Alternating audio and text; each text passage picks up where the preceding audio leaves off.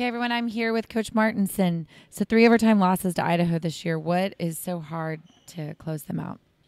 Well, I mean, we gave up a, you know, we gave up three on two right off a face-off, and uh, they're good players. They had the opportunity, and they, you know, three on two became a two on one, became became a guy all alone in front. So, you know, finding different ways to lose in overtime, but it's painful. I mean, we, we, we were trying to be defensive, and and the idea was um, try to play two defensemen and a forward and make it into a shootout. But uh, yeah, it's painful. The painful ending.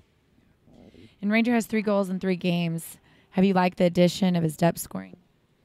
Yeah, I mean we need uh, you know we need output from everybody right now. It's a desperate time of year, so um, yeah, Ranger's been great. He's been moving his feet, been playing smart, and you know, good teammate. What is on the outlook for the team heading back on the road? Well, I mean it's uh, first game in Wichita. I mean that you know we had three wins there the last time, or two wins the last time we were there. So we've got to go in there, and again, you know, we got to play desperate and and uh, go in there and get two points.